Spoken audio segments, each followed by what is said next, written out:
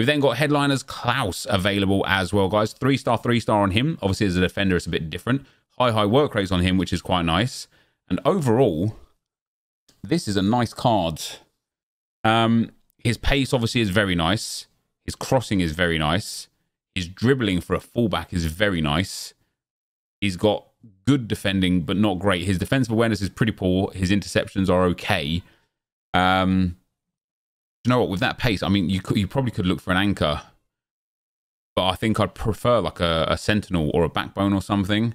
We'll have a look uh, on Futbin in a second. Um, so high, high, three star, three star. Let's have a look at what the cost is going to be. An 83 with a team of the week and a French player. That's 20k for a small prime gold players pack, and an 85 uh, with 70 chemistry and no inform, which I think is about 25k, maybe maybe 30k. Um, is it that low? No, maybe 35k. We'll have a look, uh, and that's for a rare mixed players pack.